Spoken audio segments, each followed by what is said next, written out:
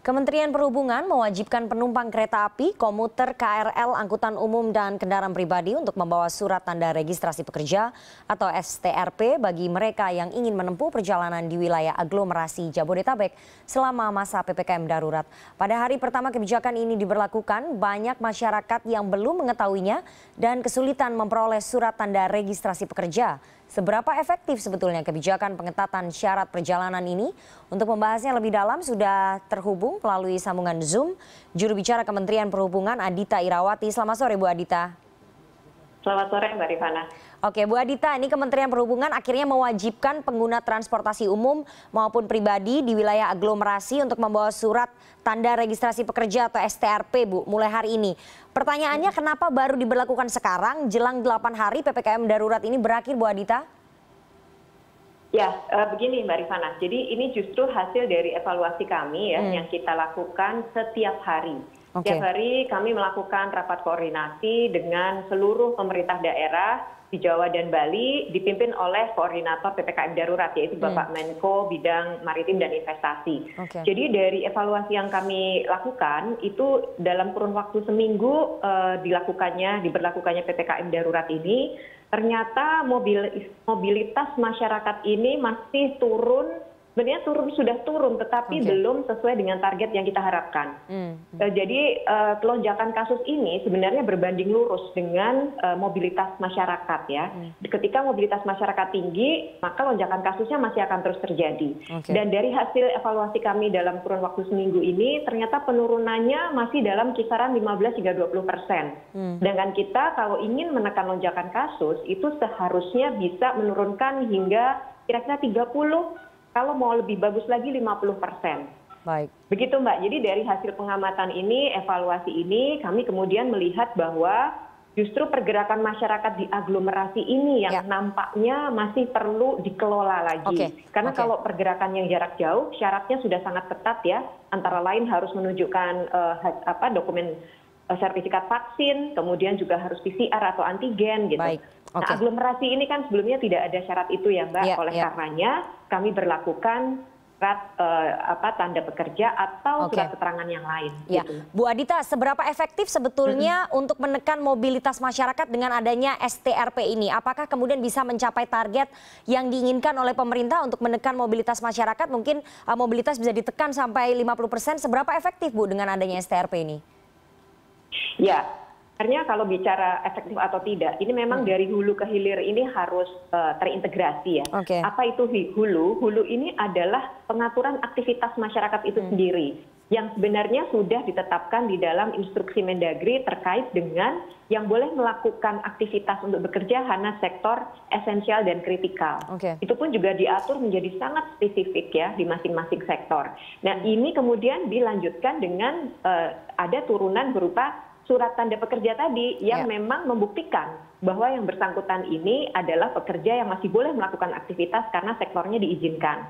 Jadi ini harus terintegrasi ya, okay. Mbak Rifana. Yeah. Nah, terkait dengan transportasi sebagai yang ada di hilir, hmm. kami melakukannya dengan cara melakukan screening dengan cara tadi yeah. syaratnya yang diperketat. harus bisa menunjukkan surat keterangan atau surat tanda okay. registrasi ya. tadi. Yeah. Okay. Nah, bagaimana efektivitasnya? Memang ini sangat tergantung dari yang pertama tentu adalah kepatuhan masyarakat sendiri ya hmm. kedisiplinannya yang kedua tentu ketegasan petugas di lapangan ya dan ketiga memang adalah bagaimana informasi dan sosialisasi dari aturan-aturan ini disampaikan kepada masyarakat dan untuk evaluasi hari pertama Mbak Rifana mungkin bisa ya. sekaligus saya sampaikan setidaknya dari uh, Pak uh, kapasitas penumpang atau jumlah penumpang krl tadi pagi itu hmm. kita melihat ada penurunan yang cukup signifikan dibandingkan hari Senin minggu lalu. Ya, itu ya. kira-kira 30 sampai 40 persen, Mbak, okay. dibandingkan hari Senin minggu yang lalu. Okay. Jadi kita melihat ini satu awal yang baik dan mudah-mudahan juga dengan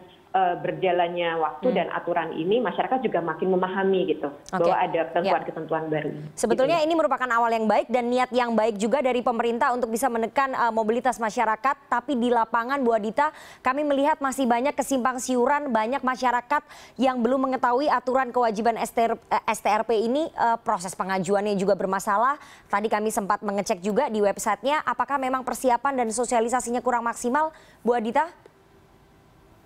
Begini Mbak, jadi uh, dari surat edaran yang diterbitkan oleh Kementerian Perhubungan, yeah. kami ini kan mengatur secara nasional ya. Mm. Jadi semua kawasan aglomerasi di seluruh Indonesia ini akan uh, diberlakukan aturan ini. Mm. Nah, aturannya apa? Sebenarnya ini kita menyatakan bahwa yang bisa menggunakan kereta komuter atau yang ada di kawasan aglomerasi atau mm. pergerakan di kawasan aglomerasi adalah pekerja di sektor esensial dan kritikal, yeah. ya dan itu dibuktikannya adalah dengan sebenarnya ada beberapa opsi jadi yang pertama adalah surat tanda registrasi pekerja karena itu istilah yang digunakan di DKI sebenarnya eh, di daerah lain mungkin ada juga mungkin namanya yang berbeda jadi surat okay. keterangan dari pemerintah daerah setempat atau surat keterangan dari perusahaan atau kantornya hmm, jadi hmm. sebenarnya ini salah satu bisa mbak ya okay. nah memang dalam pelaksanaannya daerah itu kita menurunkannya dengan perangkat hukum masing-masing gitu. Hmm, hmm. Kita melihat bahwa dari SK Dinas Perhubungan Kadisub ya SK Kadisub DKI ini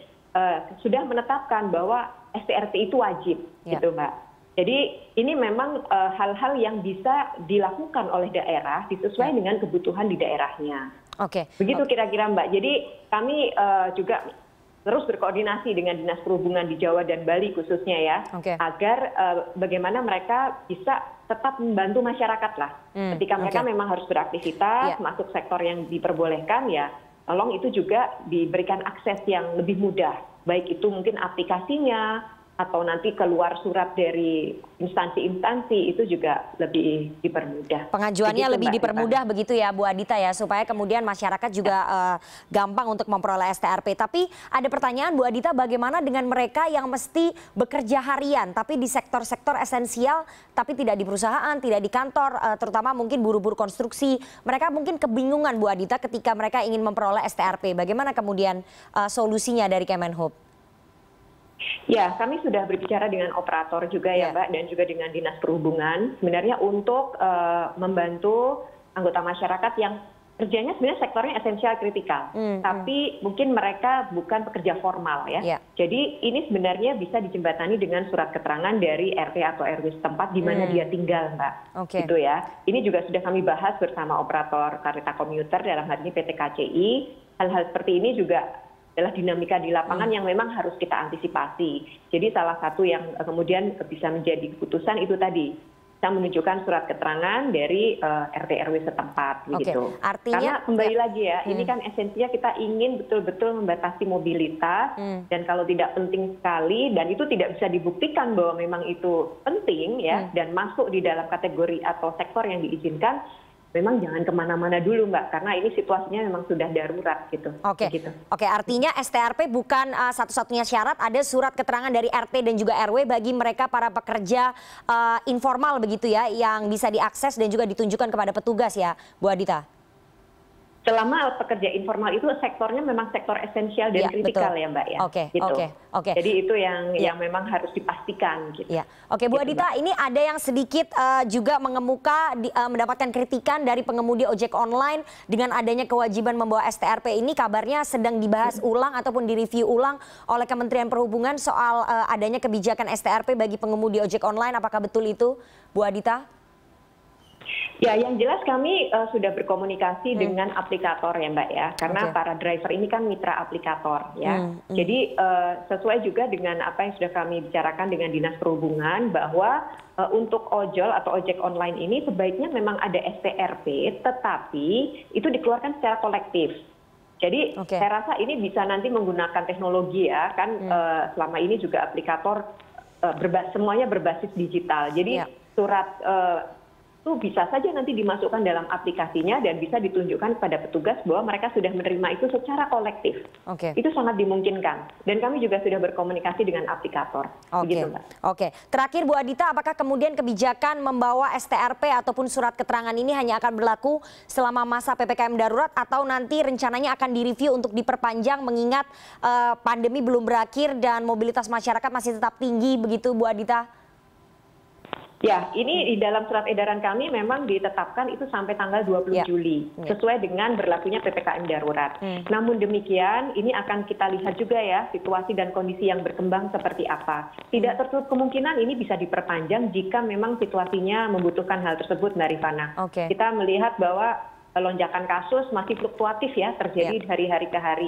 Tentu ini juga akan jadi bahan evaluasi kami apakah ini akan diperpanjang atau seperti apa. Gitu, Oke, Oke baik. Terima kasih sekali juru bicara Kementerian Perhubungan Bu Adita Irawati. Semoga tadi apa yang disampaikan oleh Bu Adita bisa memberikan edukasi kepada masyarakat supaya tidak perlu keluar rumah kalau memang tidak penting-penting amat begitu ya dan yang boleh keluar rumah ataupun yang boleh bekerja adalah mereka semua yang bekerja di sektor esensial dan juga kritikal membawa STRP dan juga surat keterangan dari dari tempat bekerjanya masing-masing. Terima kasih sekali Bu ya. Adita Irawati atas waktunya kepada CNN Indonesia Newsroom sore hari ini. Sehat selalu Ibu Adita.